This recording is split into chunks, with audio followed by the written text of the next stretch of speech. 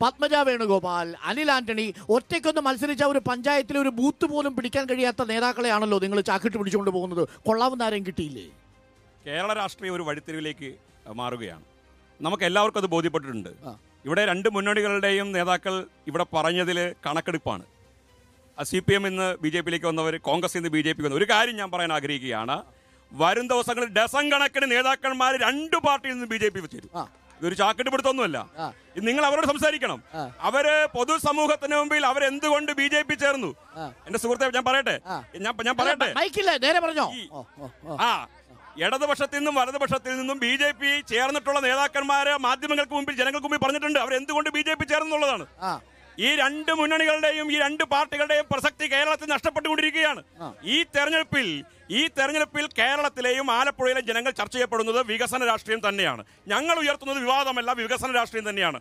ഞങ്ങൾ പറയാൻ ആഗ്രഹിക്കുന്നത് കേരളത്തിൽ നരേന്ദ്രമോദിജി ഈ പത്ത് വർഷക്കാലം ചെയ്ത ഭര- ഭരണ നേട്ടങ്ങൾ സദ്ഭരണ നേട്ടങ്ങൾ ജനങ്ങളോട് സമ്മതിച്ചുകൊണ്ടുള്ള വോട്ടഭ്യർത്ഥനയുമായിട്ട് പോവുകയാണ്. ഞാൻ പറയാൻ സുഹൃത്തെ ഞാൻ ഞാൻ പറയാൻ സുഹൃത്തെ ഗരീബ് കല്യാൺ അന്ന യോജനയിൽ ഈ കേരളത്തിൽ ഒന്നേ പോയിന്റ് അഞ്ച് കോടി ജനങ്ങൾക്ക് സൗജന്യ അരി ഇപ്പോഴും കൊടുത്തുകൊണ്ടിരിക്കുകയാണ്.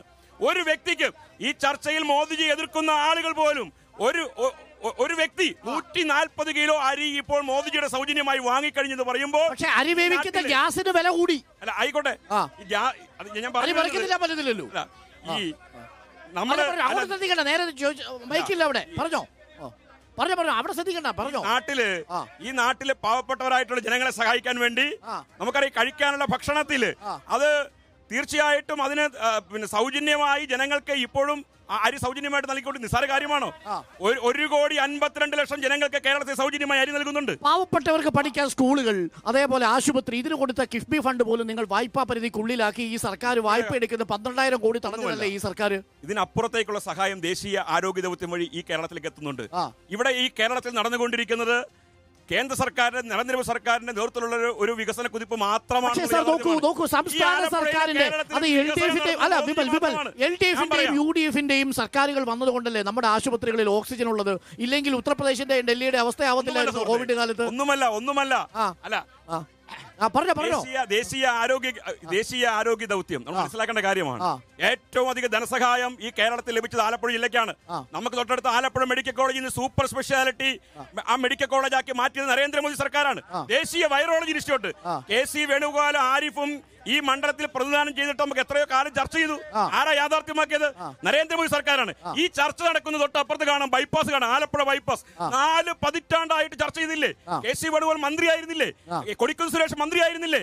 എ കെ ആന്റണിയും വയലാർ അടക്കമുള്ള മഹാന്മാരുടെ മന്ത്രിയായിട്ട് പോയിട്ട് ആലപ്പുഴ ചർച്ച ചെയ്തല്ലാതെ യാഥാർത്ഥ്യമാക്കാൻ സാധിക്കില്ല അത് യാഥാർത്ഥ്യമാക്കുന്നത് മോദി സർക്കാരാണ്. മോദി സർക്കാരാണ്. നിതിൻ ഗഡ്കരി വേണ്ടി വന്നു. ആലപ്പുഴ ബൈപ്പാസ് ഇന്ന് മാഹി ബൈപ്പാസ് ഉദ്ഘാടനം ചെയ്ത മോദിജി. കൊല്ലം ബൈപ്പാസ് ഉദ്ഘാടനം ചെയ്ത നരേന്ദ്രമോദിജിയാണ്.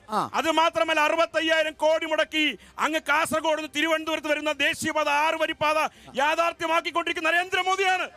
എവിടെ പോയി ഇടതും വലതും? ഞങ്ങൾ ചോദിക്കുക ഇടതു മുന്നണിയും വലതു മുന്നണിയും എവിടെ പോയി? മോദിജി വരേണ്ടി വന്നില്ലേ.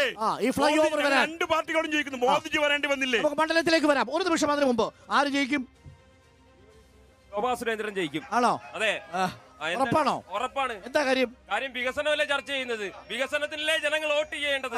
അന്നേരം വികസനത്തിനുള്ള വോട്ട് മോദിജി ഗ്യാരണ്ടി ചെയ്തിരിക്കുന്നത് ശോഭാ സുരേന്ദ്രൻ കേരളത്തിന് സമ്പത്ത് കേന്ദ്രം കൊടുക്കത്തില്ലാത്തൊരു ആരോപണം ഉണ്ടല്ലോ. അതൊന്നും വെറുതെയാണ്. കണക്കെടുത്ത് പരിശോധിച്ച്. കൃത്യമായിട്ടുള്ള കണക്കുകൊണ്ട് കേന്ദ്രത്തിൽ കൊടുക്ക്. അതിനുശേഷം കിട്ടാനുള്ളത് കിട്ടും. അല്ലാതെ ഇവിടെ നിന്ന് കണക്ക് കൊടുക്കാതിരുന്നിട്ട്. പൈസ പതിമൂന്ന്. ശതമാനത്തോളം മുസ്ലിം വോട്ടർമാർ ഇവിടെ ഉണ്ട്. ദേശീയ പൗരത്വ നിയമത്തിന്റെ ഒക്കെ ഭേദഗതി വന്നു ചട്ടം വന്നു. അങ്ങനെ മതേതരത്തിന് ദേശീയവാദികളായിട്ടുള്ള മുഴുവൻ ആൾക്കാരും ഞങ്ങളുടെ ഉണ്ട്. ദേശീയവാദികളായ മുഴുവൻ ആളുകളും. ഈ പൗരത്വ ഭേദഗതി നിയമം മുസ്ലിങ്ങൾക്ക് ദോഷമായിട്ട് ബാധിക്കുന്നൊന്നും അല്ലല്ലോ. രാജ്യത്തിന് നന്മയ്ക്ക് ഒഴിവാക്കിയതിനകത്തുനിന്ന് അവരെ ഒഴിവാക്കിയത് അവരുടെ ന്യൂനപക്ഷമായതുകൊണ്ട് അവർ ഒഴിവാക്കിയത്. അതാണ് പ്രശ്നം. മറ്റുള്ള ഒഴിവാക്കാൻ പറ്റില്ല. ന്യൂനപക്ഷം ആയതുകൊണ്ടാണ് ഒഴിവാക്കിയത്. അതാണ് പ്രശ്നം. മറ്റുള്ള രാജ്യങ്ങളിലെ ന്യൂനപക്ഷക്കാർക്കാണ് ഇവിടെ പ്രാതിനിധ്യം കൊടുത്തത്. അതെ ശ്രീലങ്കയിൽ നിങ്ങൾ ന്യൂനപക്ഷമായ മുസ്ലിങ്ങളല്ലേ?